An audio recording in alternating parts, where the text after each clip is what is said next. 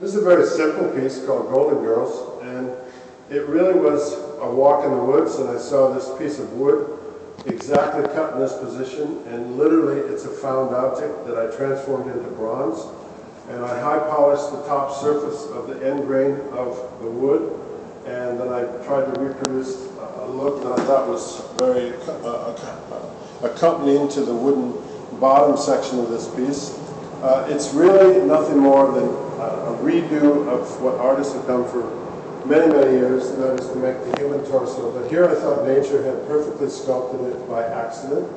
combination of a cut down tree and, and a tree that was left abandoned. I've noticed that there was quite a bit of uh, natural activity in the crotch area, but I made it a plural because actually it's the same in the back. Uh, I also was really excited about this piece of wood that I cut because it was uh, severely cracked, but at the same time, it wasn't uh, any chance that it would split in half. But just for visual and for protective reasons, I installed these cleats that are now patinaed in bronze, and I polished the top, and I really feel good about this piece. It's quite a,